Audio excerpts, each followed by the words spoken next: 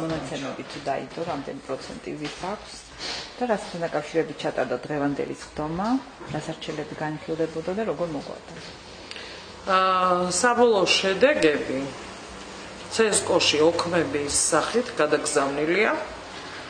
აა არაუგენეს 11 დღისა თუ სწორად მახსოვს ხდება ამის შეჯამება.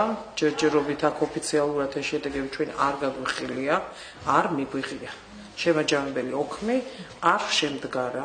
ცესკო აცხადებს ხოლმე წინასწარ მონაცემებს. ის რომ ცალსახად ქართულ ოცნებას მეტი ხმა აქვს და ქართული ოცნების მაჟორიტარი დეპუტატი გამარჯვებულია ეს ცალსახად დღევანდელი დღის წესრიგი სხდომის დღის წესრიგი იყო საიას მიერ წარმოქმნილი ორი განცხადებას ადმინისტრაციული პასუხისგებლობის შესახებ. ერთი ეხებოდა დუშეთის ნომერ პირველ უბანზე დარღვევებს.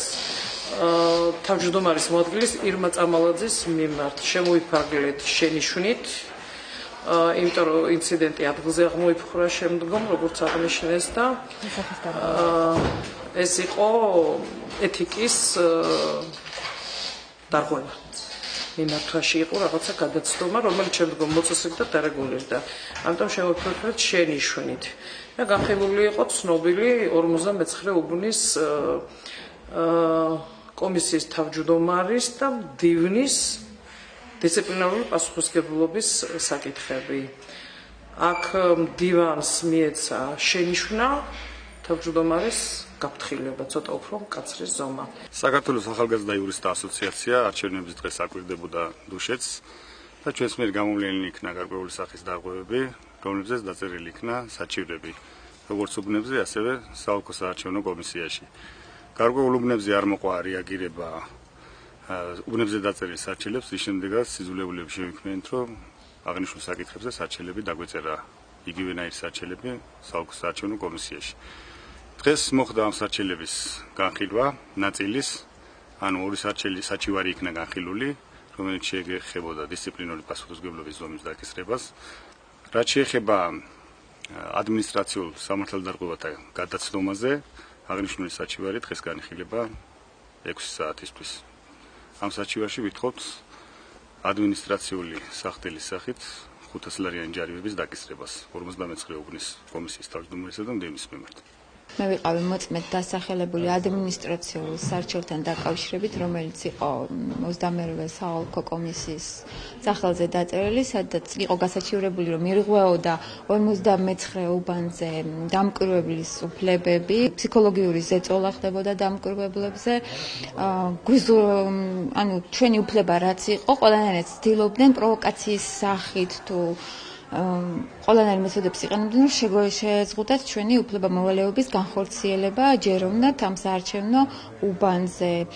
ასევე საჩივრების დაწერას ოდესაც ვაპირებდით, იქაც იყო ხელისემშლელი პირობები, იქაც გვაკავებდნენ, გვართმევდნენ დროს, რაღაც უაზრო არგუმენტებს არგუმენტები მოყავდათ და ამითაც გეშლებოდა ხელი რომ ჯეროვნად განხორციელებულიყო უბანზე დაკვირვება. იყო სიტყვიერი შეურაცხყოფები იქ მუქარა იყო ძალიან ბევრი, ძალიან ბევრი მუქარა იყო.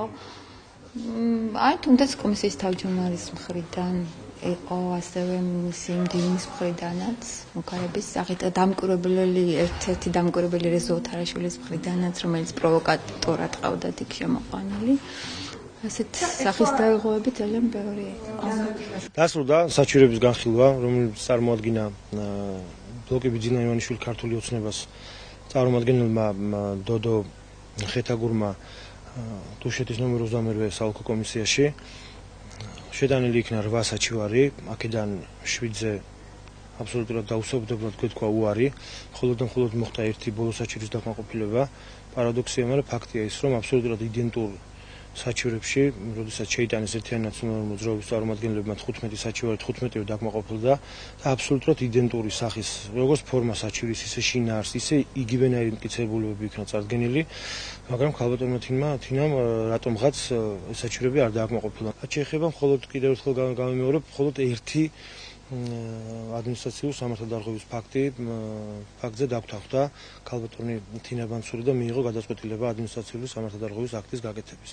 დანარჩენ შემთხვევაში გვეთქვა აბსოლუტურად მე ვფიქრობ დაუსაბუთებელი უარი და ვაცხადებ რომ ქალბატონი თინა ამ საქციელით არის ავლენს და აჩენს მიკერძოებულობას გავკლობთ თემთან დაკავშირებით.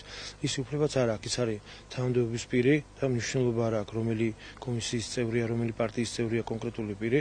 თუ დასაბუთებულად და დეტალურად მიმწოდებულია მტკიცებულება ხალბატონმა თინამ თავისი სამსახურებრივი მდგომარეობიდან გამომდინარე უნდა მიიღოს მართებული და კანონიერი გადაწყვეტილება. მეორე საარჩევნო უბანზე ნუ პირდაპირ მოხდა სახეზე გვაქვს დანიშაული იქიდან გამომდინარე რომ 65 საარჩევნო კოდექსის 65 მუხლის გადადაქვე პუნქტებში ზედმიწევნის ზუსტად არის აღნიშნული თუ როგორ უნდა მოხდეს კენჭისყრაში მონაწილეობა. ზუსტად არის აღნიშნული რომ უნდა იყოს აუცილებლად ფარული კენჭისყრა და სისხლის სამართლის კოდექსის 164 მუხლში მითითებულია პირდაპირ რომ აღნიშნული ფარულობის დარღვევა არის სისხლის სამართლის დანაშაული და ორწყლამდე თავისუფლებას ითვალისწინებს და ამ შემთხვევაში მოხდა საერთო სასწაული საალკო კომისიის თავმჯდომარე შემოვიდა არჩევნების დღეს უბანზე და პირადად მიცა განკარგულება და მითითება და ბრძანება იქაური.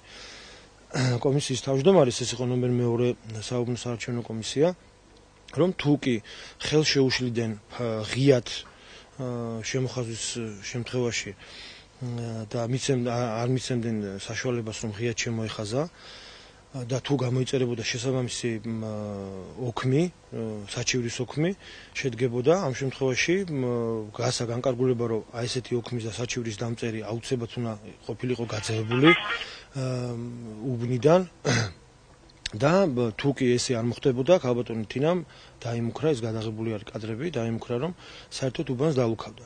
აქედან გამომდინარე ქალბატონი თინას მიერ შესაძლოა 162 მუხლის სამართალ დარღვევასთან მქონდეს საქმე, ეს არის სისხლის სამართლის კოდექსის 162 მუხლი, რომელიც სადაც პირდაპირ ღიად არის ნაჩვენები კენჭისყრის ხელის შეშლა და თუ დაუნდეობის პირის მიერ ხდება ეს ყველაფერი, ესეც დანაშაულია და ორიდან სამ წამდე ითვალისწინებს თავისუფლების საქმედას. ჩვენ ფიქრობთ ახლა უნდა მივიღოთ გადაწყვეტილება და თუ მივიღებთ გადაწყვეტილებას თვითონ კოალიციაზე, კოალიცია მომხდელობაში საარჩევნო ბლოკი ბიზნა ივანიშვილი ქართული ოცნება, ჩვენ ამას აუცილებლად გავასაჩერებთ.